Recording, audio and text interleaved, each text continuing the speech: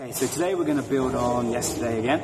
Um, the idea is that we're going to try and get one leg over, but we're going to land on both feet today. Okay? Again, don't worry about where you're landing in direction, and don't worry about how your hands are finishing.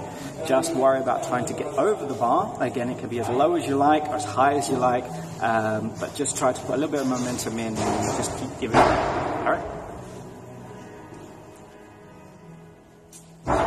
Starting here, and this leg is now going to go over the same as yesterday, but we land both feet. So from here, and down. Okay, so we're trying to land both feet together, um, but one leg goes over. All right?